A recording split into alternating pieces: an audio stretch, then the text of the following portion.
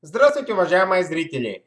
Это снова я, это CryptoSpy, это мой следующий обзор криптовалютного рынка на русском языке.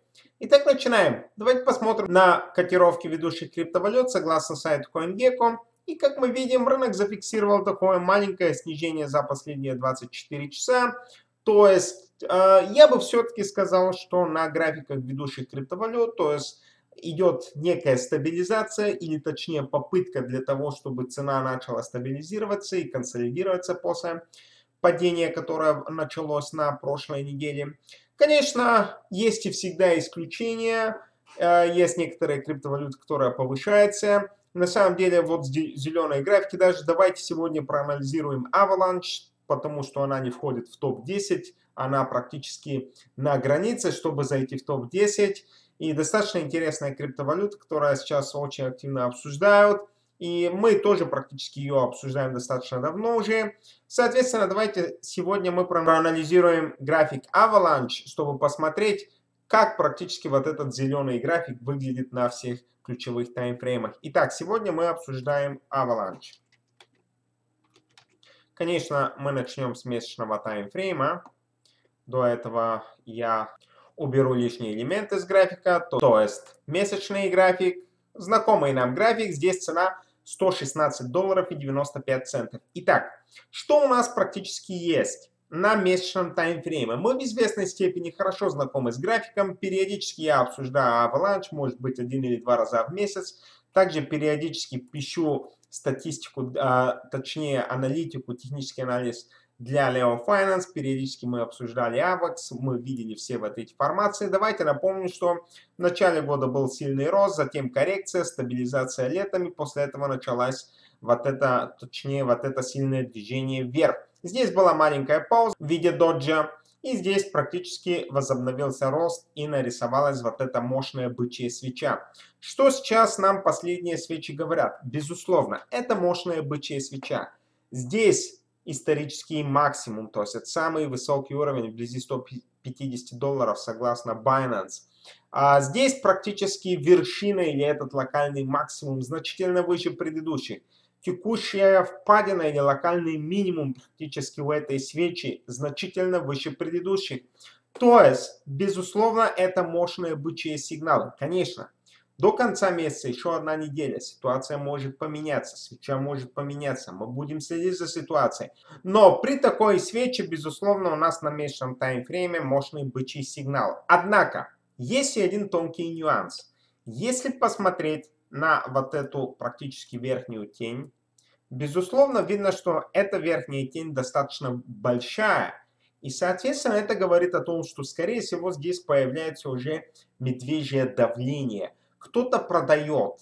То есть я предполагаю, что это те люди, которые покупали, и они практически достаточно довольны а, со своим профитом, со своей прибылью. И на текущих уровнях они потихонечку продают и фиксируют профит, то есть прибыль. То есть их эти уровни устраивают. Я считаю, что может быть а, это медвежье давление может продолжиться, Поэтому мы должны быть очень аккуратным, хотя график идет вверх, бычьи сигналы, мы сейчас по этой тени видим потенциальное медвежье сопротивление, которое практически может продолжить давить на цену, потому что, видимо, некоторые практически инвесторы или те, которые покупали этот токен, сейчас довольны и выходят на этих уровнях. Итак, weekly. Что у нас на недельном таймфрейме? Сильный рост в начале года, консолидация, коррекция, стабилизация, возобновление роста. И вот практически последние свечи, которые имеем. Сейчас мы их проанализируем. Здесь практически при возобновлении роста была череда в основном из бычьих свечей. Ну, я говорю в основном, потому что здесь Dodge, у которых минимумы повышались, также и максимумы. Безусловно, это был бычьим сигналом. И он остается. Но Текущая свеча, хотя сегодня среда, эта свеча может поменяться, имеет медвежье тело, имеет вершина выше предыдущей, то есть это хороший бычий сигнал. Впадина, если останется на этом уровне, будет выше предыдущих, то есть это будет еще дополнительный бычий сигнал. Но эта свеча практически имеет маленькое медвежье тело, плюс вот эти две свечи имеют большие верхние тени. Таких теней по пути на этом росте пока еще не было.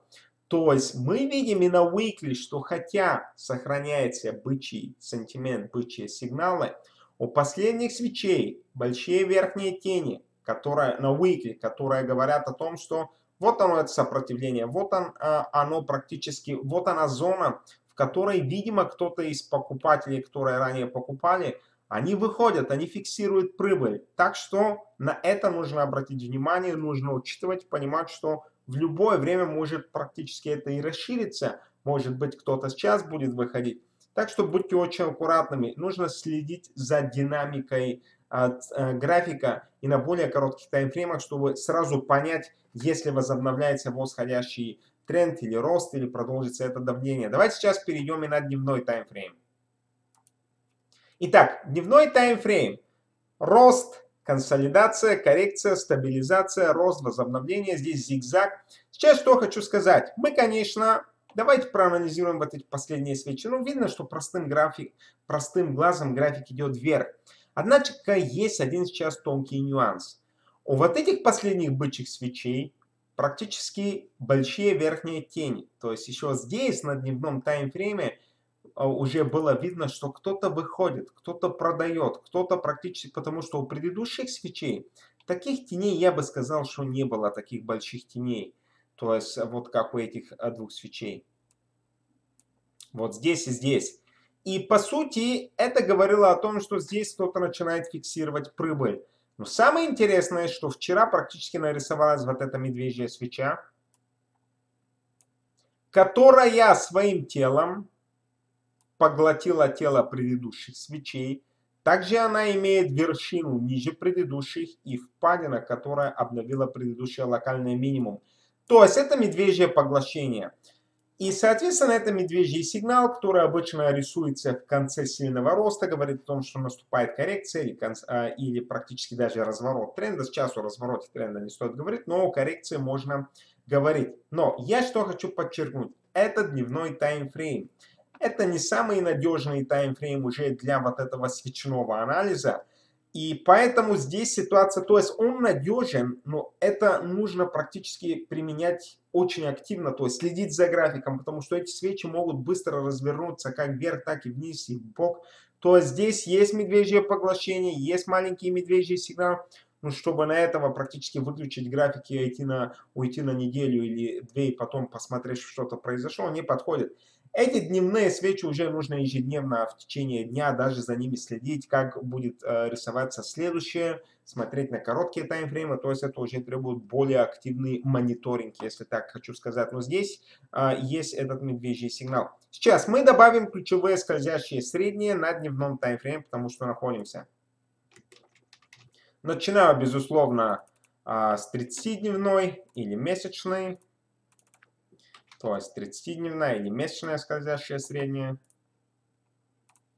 Затем 90-дневная или трехмесячная скользящая средняя. И последняя это, конечно, годовая или 360-периодная. Итак, вот они эти три скользящие средние. Что они нам говорят? Но, безусловно, простым глазом видно, что все три скользящие средние идут вверх. То есть это бычий сигнал.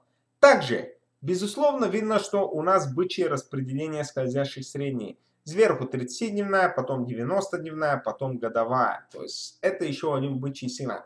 То есть, безусловно, спокойно можно сказать, что по скользящим средним тренд идет вверх. Это бычий тренд. Все понятно, все ясно. Но Безусловно, мы понимаем, что иногда, вот как и здесь, например, цена очень быстро начинает двигаться, например, в этом случае вверх. И она отходит очень сильно от 30-дневной или скользящей средней. И периодически происходят коррекции, чтобы цена стабилизировалась, вернулась к своей справедливой стоимости, если так могу сказать. Так что график идет вверх. У нас бычий тренд но мы очень далеко от скользящих средних, и поэтому в любое время может произойти коррекция, как и вот здесь, как и вот здесь, чтобы протестировать эти скользящие средние. Таким образом, если здесь коррекция продолжится, если люди будут фиксировать прибыль, то ближайшая поддержка это 37-дневная скользящая средняя или, грубо говоря, на данный момент 89 долларов. И даже если график при таком сценарии приблизится к этой скользящей средней, все равно бычий тренд останется по скользящим средним. Это будет просто вот как здесь, здесь тестирование вот этого ключевого уровня. Итак, это по скользящим средним, то есть бычий тренд, тренд идет вверх, но пока график достаточно, цена достаточно далеко от скользящей средней, необходимо понимать, что в любое время может произойти коррекция. Итак, переходим на 4-часовой таймфрейм. H4. Что у нас есть? Вы знаете, мы этот график очень хорошо знаем, тем более, что для Leo Finance я на H4 практически рисовал вот эти бычьи флаги. Мы там пытались поймать возобновление тренда. Все это мы видели неоднократно, как и здесь, так и здесь. Давайте начну с той части графика. Вот здесь был рост. Затем последовала коррекция. Мы это видели вот здесь. Нарисовался нисходящий канал. И вместе этот нисходящий канал со столбиком нарисовали бычий флаг. Здесь мы увидели выход из флага, возобновление тренда. А, Все это мы обсуждали, то есть когда заходить и так далее, накладывали даже цели. Вот примерно такая же волна по размеру. Здесь тоже была практически коррекция.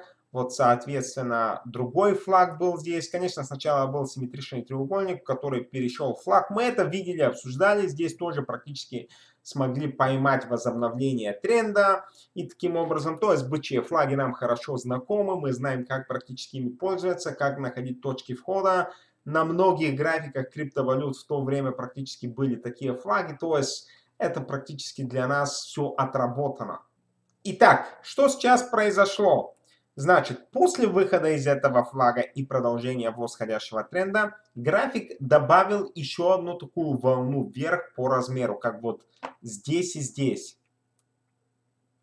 Однако, здесь практически произошла, может быть, маленькая консолидация или пауза. И график, видимо, практически не скорректировался, как вот здесь, например, вот так, чтобы потом выйти вверх а просто он продолжил свое движение вверх и, может быть, добавил еще одну такую по размеру волну. Вот она практически. Соответственно, здесь получается, что график перешел очень быстро вверх и нарисовал такую же волну, еще одну по размеру. И, соответственно, это две волны практически без паузы, без коррекции. Поэтому, может быть, здесь сейчас, вот эта коррекция, которая была здесь, сейчас идет я хочу сказать, что можно предполагать, что эта коррекция может практически протестировать вот эту зону между двумя практически а, волнами. Там, где практически по сути должна была бы произойти некая коррекция или консолидация. И это говорит о том, что если график скорректируется, он дойдет до уровня примерно в 100 долларов, то есть чуть выше, чем та скользящая средняя 30-дневная, что нам показывала. Так что здесь можно понимать, что вот где-то около 100 долларов плюс-минус 5 долларов есть хорошая поддержка на фоне и дневного таймфрейма, и 4-часового. Так что если происходит коррекция, вот в той части можно пытаться поймать некую точку входа, если будет отскок. Поэтому мы сейчас все это уберем, и мы даже перейдем и к более коротким таймфреймам. То есть на H1 вот он график. Мы, конечно, перейдем к линейному графику, чтобы убрать волатильность. И здесь после выхода из этого флага, который был, начался вот этот восходящий тренд. То есть здесь восходящий канал. Но, может быть, эти линии можно немножечко перенастроить. Ну, логика понятна. У нас здесь нарисовалась череда из повышающихся впадин и вершин, то есть это восходящий канал. Однако вот здесь график вышел за пределы канала, то есть произошла попытка ускорения тренда, то есть контуры практически начали меняться, угол начал меняться, бычий тренд начал ускоряться. И, соответственно, сейчас, когда произошла эта коррекция, мы начинаем тестировать верхнюю границу канала. И я рассматриваю вот следующий сценарий. Либо сейчас график получит поддержку, развернется и попытается возобновить рост и будет его возобновлять. И мы действительно увидим ускорение восходящего тренда. И потом уже а, нарисуем новый канал восходящий. Тогда, конечно, и на 4-часовом, и на дневном таймфрейме появится разворотная формация. Мы это увидим, если это произойдет сейчас на часовом таймфрейме. Или график зайдет обратно в этот канал и рано или поздно прикоснется к нижней линии вот этого старого восходящего канала. И это условно также 95-100 долларов за одну цифровую монету. И тогда, если график от нижней части вот этого канала пойдет вверх, вот тогда, конечно, получится еще сигнал на покупку. До этого, конечно, стоит просто понаблюдать за графиком, нужно на более коротких таймфреймах активно смотреть, что происходит, чтобы практически поймать вот эти движения разворотные или там э, коррекции, если они будут. Думаю, что все понятно. Итак, друзья, на самом деле у меня на этом все.